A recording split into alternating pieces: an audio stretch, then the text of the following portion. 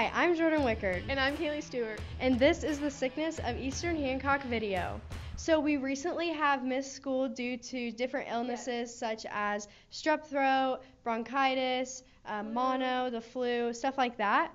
And we currently talked to Miss Wisman, the secretary in the high school office, about some statistics and facts from today on Friday, some of the facts about the sicknesses and what we've had to do the past couple days. They've been cleaning to make sure that they're getting all those sicknesses and illnesses out as much as they can.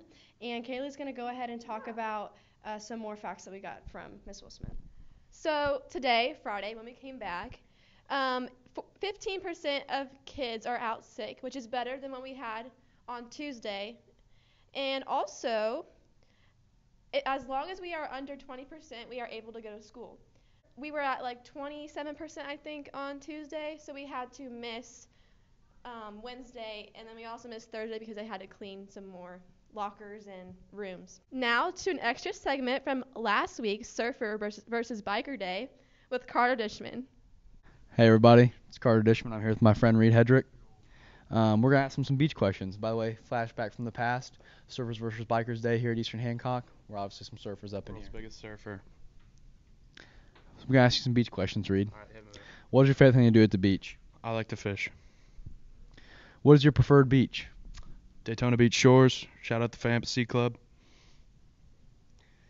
What is your favorite beach snack? I'm gonna have to go with Cheez-Its because they just hit quite different when you come out of the waves.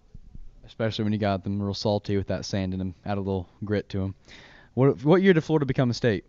Um, I'm gonna go with 1842. Ooh, that was pretty close. It actually was 1845.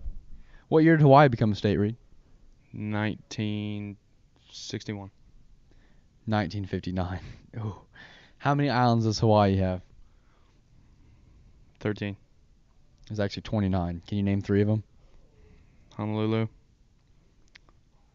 Uh. And Maui. Yeah. What is Florida's state flower? The yellow dotted peony. It's actually the orange blossom. Oh, that makes sense. But that was a pretty close guess, Reed. All right. Thank you guys for watching our beach questions today. Thank you for watching.